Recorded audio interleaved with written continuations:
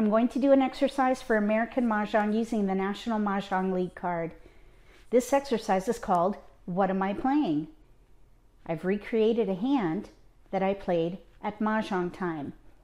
I currently have two exposures. Anytime a player has two exposures, you can figure out what hand they're playing based on the discards and change your plan accordingly so as not to discard that winning tile.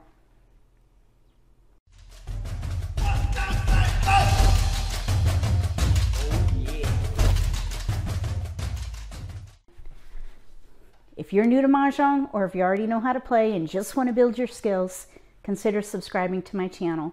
That way you won't miss anything. This is my hand. I'm east. It's this player's turn. They still need to discard. This player and this player are concealed. This player has a pung of eight dots with a joker available. Based on the tiles that have been discarded, and these tiles here, what am I playing?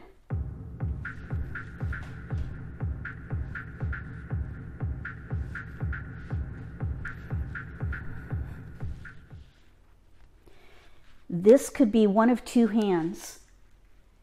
Either consecutive run number four, five, six, seven with green dragons you can see that there are two green dragons out and a six bam. The other option would be one, three, five, seven, nine. We have pungs, fives, and sevens. No one bams are out. No three bams are out. And one nine bam is out. And I'm playing odds.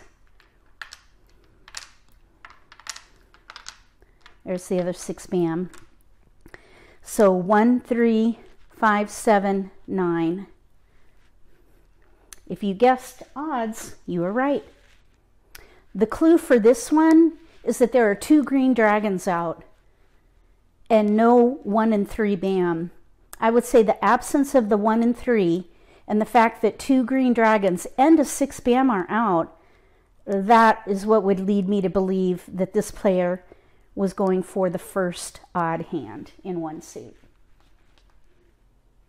When an opponent has two exposures, you can typically tell what hand they're playing based on the discards that are out and sometimes the other exposures.